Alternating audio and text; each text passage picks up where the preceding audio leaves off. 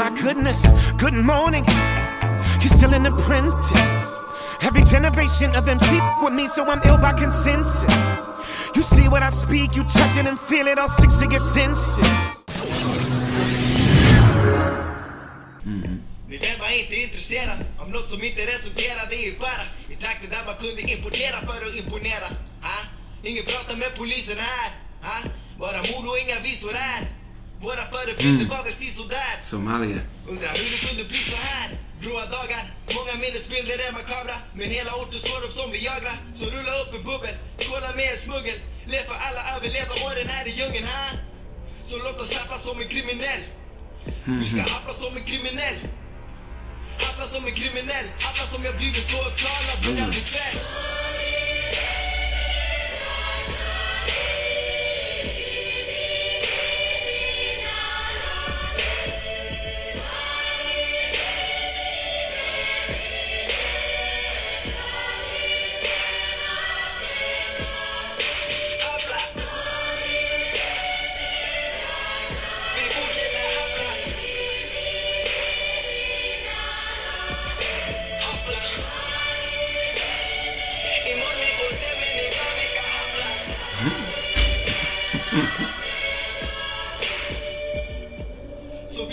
visa i kronor, din tillit till miljonen, Ringar i melonen. Minns det gamla goda Då käkar vi i nu käkar vi i nada Nu käkar vi i Fogo Gick det Serengeti från att bara klippa tuvor. Boysen kavlar deg nu men de brukar jaga smulor. Krigat för att checka mina ärr och mina bulor. För jag är inga guror om jag inte fick några sulor Kommit långt från att bruka tigga mitt i Bussen har blivit luftig, logen har blivit syndig. Osten har hunnit åldras och whiskyn har blivit myndig. Sängen den är befolkad och degen har blivit zidjig ja? Så låt oss äta som en kriminell. Du ska haffla som en kriminell. Haffla som en kriminell. Haffla som jag blivit åtalad men aldrig fälld Vi fortsätter haffla Haffla Imorgon vi får se men idag vi ska haffla Yeah, this is dope. I like this. So I live in Minnesota. I live in Minneapolis, you know what I mean? And um, yeah, so I live in Minneapolis. And the uh, it's always dope to be in um, in Norway because you know the the land looks really similar, and obviously we have a lot of people from Norway that live in Minnesota. And then also there's a lot of Somali people here, and there's a lot of Somali people in Minnesota. So the um, there's a lot that just that that feels that feels native to me. You know what I mean? And I really like this. I like the message of this.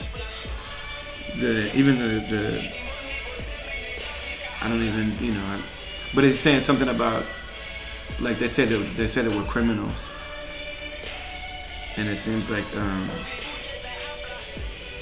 like the idea that I'm getting is that like they're having a, all, of these people come together and like eat and do things together and like show their humanity.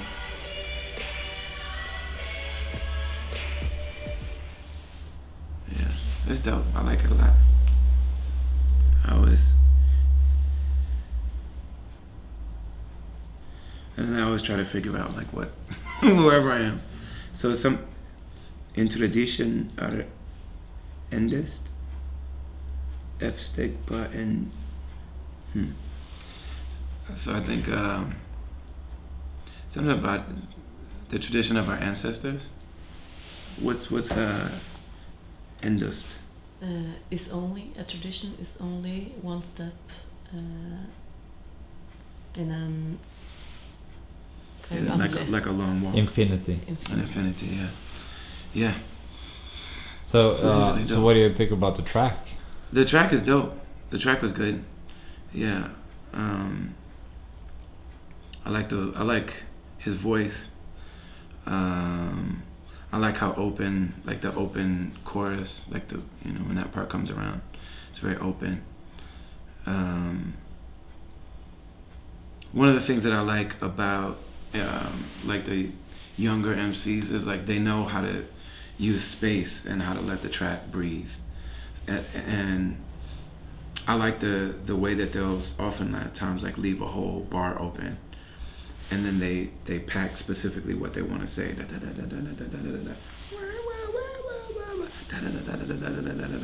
It's dope. Um, but yeah, I like the vibe of this one, and I liked what the message is, and I especially like. Um, just the fact that the humanity of the people comes through. You know, it, it sounds like these are people who what they have in common is that um, you know they're they're looked at as uh, being less valuable or less moral because they're because they come from other parts of the world.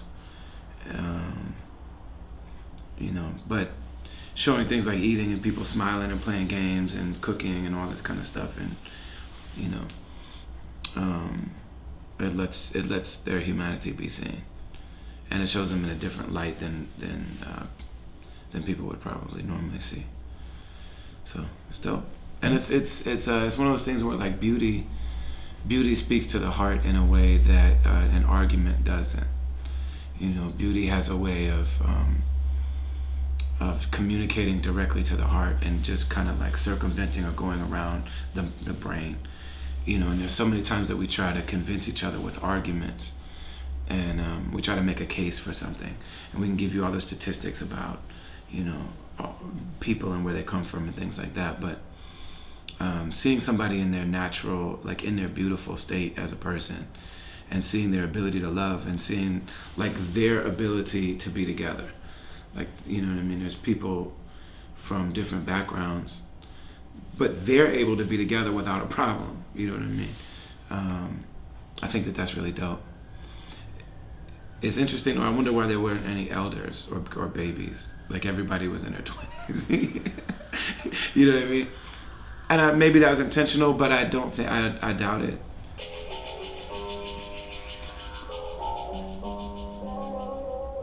Everybody wanna be number one. First week, where you get the numbers from? I was gonna wait till the summer's done. But now I'm like, fuck it, here's another one. Ah, fuck it, here's another one. Ah, fuck it, here's another one. voice is dope Fall back, get a drummer some. Ah, fuck it, here's another one. Man, kids are dope. like young young MCs are super dope. Cause like they grew up listening to rap their whole They life. better run the blocks boiling. These rappers think my sons, I'ma spoil them. Show them how it's done with the ball pen. But everybody try to make a fortune. And I believe him. Ain't nobody try to make a dollar when a meal make a bad bitch swallow. Believe that. And ain't nobody try to be a father when you gotta go dig it, baby mama. Believe that. I'm too real, that's my only problem. I'm too real, that's my only problem. Found out I fucked around and gave your girlfriend the clap. Now both of y'all probably got it. And everybody wanna be number one. And everybody wanna be number one. I was gonna wait till the summer's done. But now I'm like, fuck it, here's another one. Ah, fuck it, here's another one. Ah, fuck I like him. another one. Let me fall And the track is fine. Ah, fuck it, here's another And, one. I ain't um, trying to wait for a check he's good at what he's doing, and I, I, like I said, I believe him. What he's saying doesn't speak to me. You know what I mean? Like the archbishop is just what he's talking about. Um, it doesn't speak to me personally. It doesn't impress me. You know what I mean? Um, it's just the the the, the things that he's like. I, I get that like he's very um, confident, but the things that he's the, like in his own words, the things that he's confident about are just not impressive to me. You know what I mean? Um. Because they're they're not. Uh, those those things aren't special. Like the idea of uh, not caring about people. Um, you know what I mean? Um, this is this that's not is not impressive to me personally, but you know the other thing is that um, you know he's young and he's a human being and he's like a growing person. You know what I mean? So he obviously is working hard on what he does because that's that's a really well done piece of work. You know what I mean? The song, the, it's it's well thought out. It's well, it's organized well. Um, I think that one of the things that people from my time, my generation, the th- the reason why we hate on younger artists is because of they, like I said, the, the way that they use space is really intentional, and sometimes they they they work in simplicity in ways that we don't that doesn't always resonate with the way that things were done when we were growing up. Because when we were growing up, like we were little when '80s rap was out, and so we loved simple rap. And then in the '90s, things got complicated, or the late '80s, I would say. The things got really complicated, and so we started feeling like, oh, complicated is better.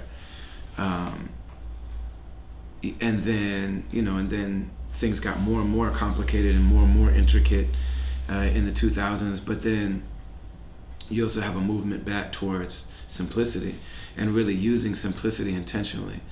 And um, sometimes when you say less uh, and just say the right things, you're actually saying more, and you're and it's and it's easier to digest and understand and things like that.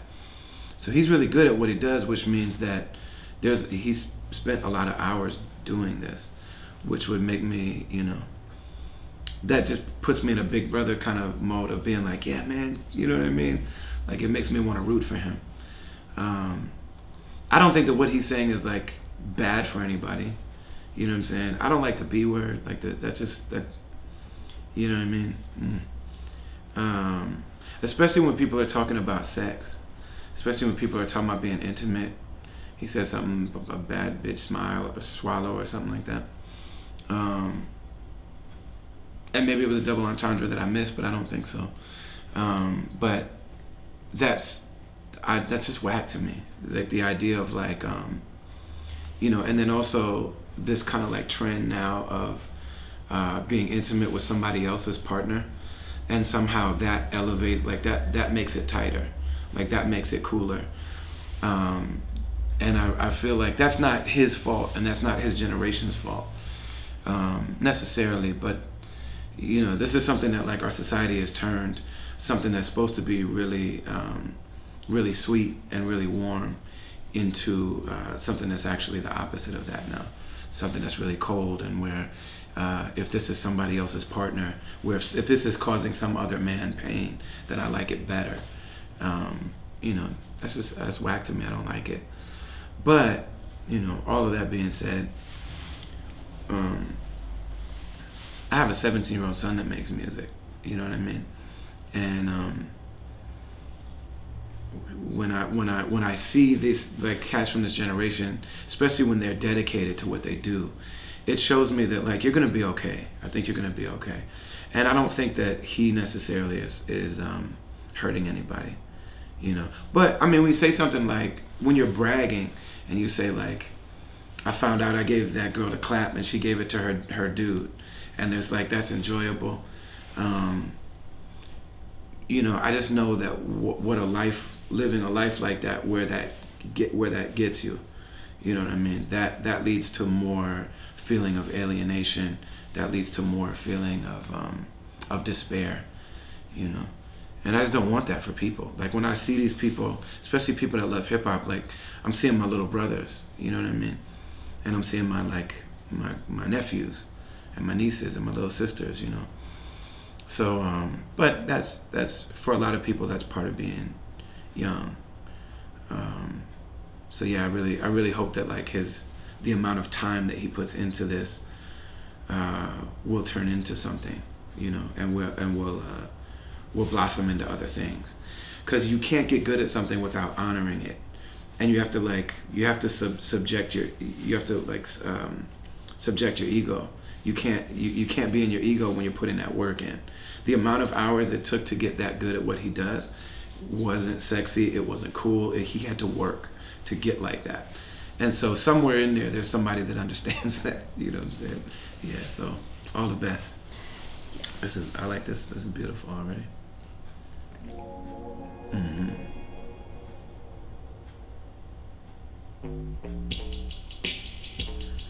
I like this very much dope. Yeah. Hey. Love it what we just told. Hey. Love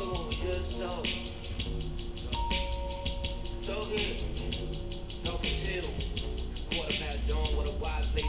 About the grind daily. I wanna straight with her, but I also play deep.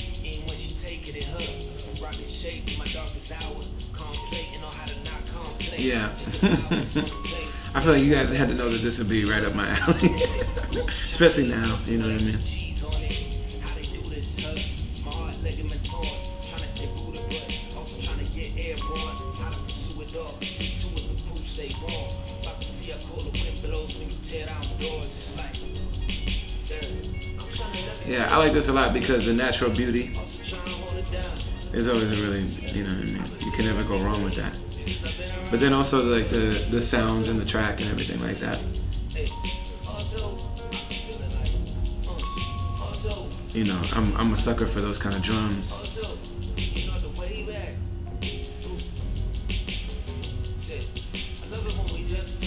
And then I like what he's saying.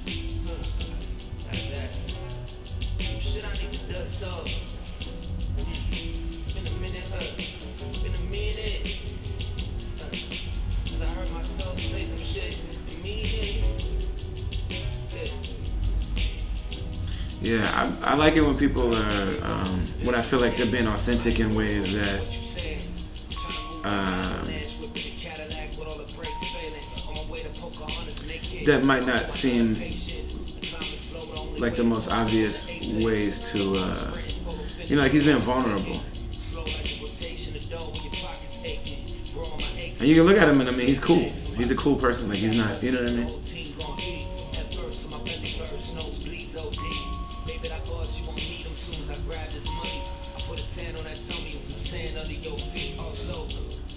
You know, some sometimes people go the self-deprecating route because somebody will look at them and never think that they're cool. Like that's not, it's not a, it's not a, it's not a big uh, leap for somebody who's never gonna be cool to just jump in that direction. You know what I mean?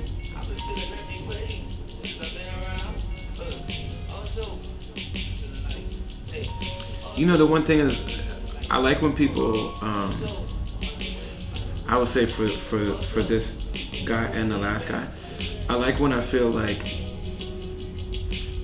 when I'm sure like this is how you, how you actually talk. Like I like when people rap how they talk, you know what I mean? So the first one I was more, the first one I was more convinced of that. That like this is this person, that's their voice, this is the way that he speaks, this is the language he speaks, you know what I mean? With these two, I feel like they've been raised listening to hip hop music, and, and that's probably, I mean, clearly with both of these, it's like hours and hours and hours of their lives they've been digesting rap lyrics. You know what I mean? Which is why they're so good at it, and why when they do it, they're they're so natural. Um, but I also, you know, I like when I hear things that are like, you know, I like when I hear. uh, So you know, Slug from Atmosphere is my one of my mentors, and we're both from Minnesota, and there's certain ways that he pronounces words in his music that you would never hear in rap before, because you never heard somebody from Minnesota rap. Like Minnesota's got its own accent, and so um, I really I, I remember thinking like when I the first time I heard him, it was a little bit of a paradigm shift because it's like whoa he's pronouncing words like he's from Minnesota. Like, why don't I do that? You know? And there was this, this really interesting kind of, uh, you know, in the 80s and 90s and and 2000s even, there was like a debate raging with all people that, all hip hop artists that outside of the U.S. And it was like a universal global debate. So you go to Australia and they would be arguing about should you sound like you're from New York or should you sound like you're from Melbourne? You know what I mean? And that was the case in all, and I know it was the case here too in terms of like, should we be rapping in Norwegian? Should we be rapping in English? Should we be rapping with the accent? Should we be rapping? And it's like, do whatever you like. Like, I really, this is a really good, I really like this song and video. It speaks to me, you know.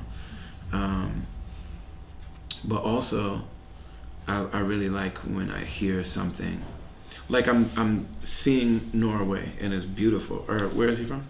He's from Norway. Yeah, uh, that's what I'm seeing that, and I'm also, you know, seeing him, and he's dressed really cool and everything. Um, but I, I just want to hear that some of that too. You know what I mean? Just to let little things come through to just um, to to to like introduce me to something that I that I wasn't aware of. You know what I mean? There are things that you, that every human being knows that not everybody knows, and that the, you know there's perspectives that people have that not everybody has, and um, to me that's the real gift of this is when we're able to um, we're able to shed light on things that people wouldn't be exposed to without it. You know what I mean? So the so he's making hip hop music, and I'm not gonna, you know, listen to like um, Norwegian black metal because that, that just doesn't. My ears just aren't tuned to that. So I'm not gonna hear that.